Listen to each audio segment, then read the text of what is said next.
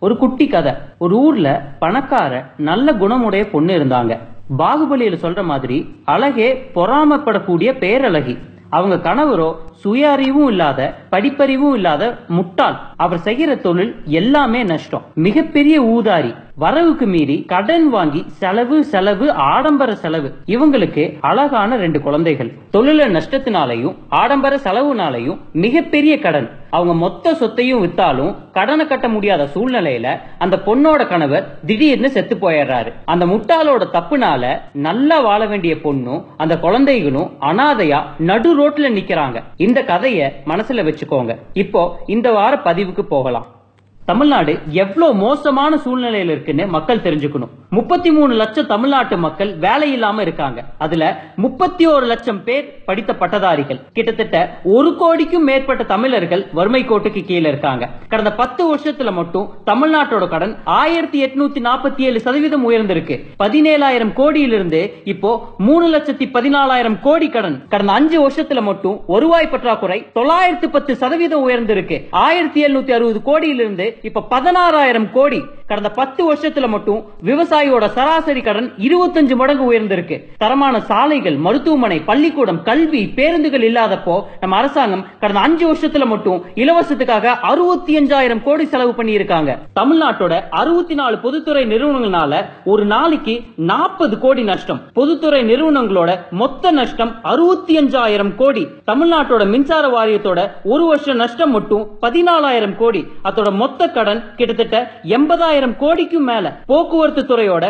ஒரு வருஷம் நஷ்டம் மட்டும் மூவாயிரம் கோடி. அது மட்டும் இல்லாம நோக்கியா இசுசு கியா பயோலெக்ஸ் ஹீரோ மகேந்திரா அப்போலோ சிஎட் இந்த மாதிரி நூற்றுக்கணக்கான நிறுவனங்கள் தமிழ்நாட்டை விட்டு போயிட்டாங்க. இதனால கிட்டத்தட்ட ஒரு லட்சத்துக்கும் மேலான வேலை வாய்ப்புகளை நம்ம இழந்து நிக்கிறோம். ஒரு எடுத்துக்காட்டோட சொல்றேன். அப்ப உங்களுக்கு நல்லா புரியும். மகாராஷ்டிரா ஆந்திர பிரதேஷ் தமிழ்நாடு. இதுல ஏதாவது ஒரு இடத்துல தான் கியா நிறுவனம் தன்னுடைய தொழிற்சாலையை தொடங்க திட்டமிட்டு இருந்தாங்க இந்த வாய்ப்பை பயன்படுத்தி முதலீட்டை கொண்டு வர நினைத்த ஆந்திரா மற்றும் மகாராஷ்டிரா அரசாங்கம் அரசாங்கம் தங்களோட தொழில்துறை மந்திரியையும் சிறப்பு குழுவையும் சியோல் சவுத் கொரியாக்கே அனுப்பி பேச்சுவார்த்தையை நடத்தினாங்க. அதே நேரத்துல தமிழ்நாட்டு மந்திரிகள் ஜெயலலிதா அம்மையார் இட்லி சாப்பிட்டாங்களா? சாப்பிடலையான்னு சண்டை போட்டுட்டு இருந்தாங்க. கியா நிறுவனம்னால மட்டும் ஆறாயிரத்தி ஐநூறு கோடி முதலீடு ஆந்திராக்கு போயிருக்கு. தமிழ்நாட்டோட பட்ஜெட் புரிஞ்சிச்சுன்னா இன்னும் உங்களுக்கு நம்மளோட நிலைமை நல்லா புரியும். தமிழ்நாட்டோட மொத்த வருமானம் ஒரு லட்சத்தி ஐம்பத்தி ஒன்பதாயிரத்தி முன்னூத்தி அறுபத்தி மூணு கோடி. இந்த வருமானத்தை எப்படி செலவு பண்றாங்கன்னு பாப்போம் சம்பளத்துக்காகவும் மானியத்துக்காகவும் எழுபத்தி மூணாயிரம் கோடி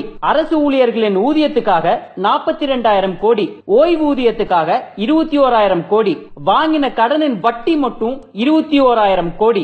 எந்த ஒரு வளர்ச்சி திட்டத்துக்கும் பத்தே பத்து பைசா செலவு பண்ணாம நம்ம வருமானம் மொத்தமா முடிஞ்சு போச்சு. அப்புறம் வளர்ச்சி திட்டங்களுக்காக கடன் கடன் கடன்.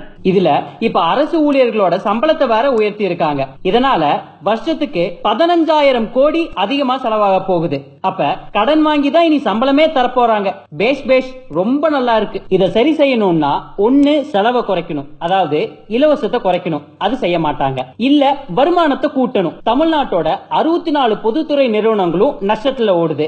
அதையும் இவங்களுக்கு சரி செய்ய தெரியாது. இவங்களுக்கு தெரிஞ்சது எல்லாமே கடன் கடன் கடன். போன வருஷம் மட்டும் எழுபத்தி அஞ்சாயிரம் கோடி கடன் வாங்கி இருக்காங்க மொத்தமா மூணு லட்சத்தி பதினஞ்சாயிரம் கோடி கடன். இதே மாதிரி போச்சுன்னா ரெண்டே வருஷத்துல தமிழ்நாடு திவாலாயிரும். தமிழ்நாடும் தமிழர்களும் நடு ரோட்ல தான் நிப்போம் இப்போ உங்களுக்கு அந்த குட்டி கதை நல்லா புரிஞ்சிருக்கும்னு நினைக்கிறேன். அந்த ஊதாரி கணவர் வேற யாரும் இல்லைங்க. நம்ம தீவிரவாதிகள். அந்த பொண்ணு நம்ம தமிழ்நாடு. அந்த குழந்தைகள் நீங்களும் நானும் தான். தமிழ்நாட்டு மக்கள். நம்ம அரசாங்கத்துக்கு காசு வேணும். நமக்கு என்ன தொழில் தெரியுதோ அந்த தொழில தான் நம்ம லாபத்தை கொண்டு வர நினைக்கிறோம். இந்த அரசியல்வாதிகள் ஒரே ஒரு தொழில தான் அவங்க லாபத்தை கொண்டு வரணும்னு நினைக்கிறாங்க. ஏன்னா அந்த தொழில் மட்டும் தான் அவங்களுக்கு தெரியும். என்ன தொழில் தெரியுங்களா? டாஸ்மாக். இப்ப காசு தேவைன்னு சரக்கோட ரேட் எல்லாம் ஏற்றிருக்காங்க ஏன்னா அவங்களுக்கு தெரிஞ்ச தொழில் அது ஒண்ணுதான். அறுபத்தி நாலு பிஎஸ்சியும் நஷ்டத்துல ஓடிட்டு இருக்கு. கோப்டெக்ஸ் எடுத்துக்கோங்க எடுத்துக்காட்டுக்கு. ரெண்டாயிரத்தி பன்னெண்டு பதிமூணுல பதிமூணு வருஷம் கழிச்சு லாபத்தை கொடுத்திருக்கு. ஏன்னா அப்ப சகாயம் இருந்தாரு. அதனால அந்த வருஷம் மட்டும் லாபத்தை கொடுத்திருக்கு. அப்ப நல்ல நிர்வாகி இருந்தா பிஎஸ்யூல இருந்து லாபத்தை கொண்டு வர முடியும்னு காமிக்குது. டிரான்ஸ்போர்ட் டிபார்ட்மெண்ட் எடுத்துக்கோங்க. கவர்மெண்டோடது நஷ்டத்துல ஓடுது. ஆனா பிரைவேட்டா பஸ் விடுறவன் ரூட்டுக்கு கவர்மெண்ட் காசு கட்டுவான். பஸ் நல்ல பஸ் அப்பவும் லாபத்தை தரும். ஆனா நம்மளோட கவர்மெண்ட் டிபார்ட்மெண்ட் மட்டும் லாஸ் அது எப்படி? எல்லாத்துலயும் கொள்ளையடிக்கிறாங்க.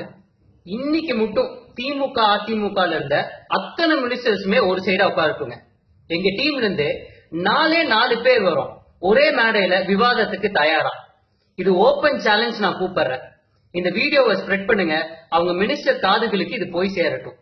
முதல் முறையா எங்க வீடியோவை பாக்குறீங்கன்னா எங்களோட எல்லா வீடியோஸையும் போய் பாருங்க. புள்ளி விவரங்களோட எல்லா தகவலையும் கொடுத்துருப்போம்.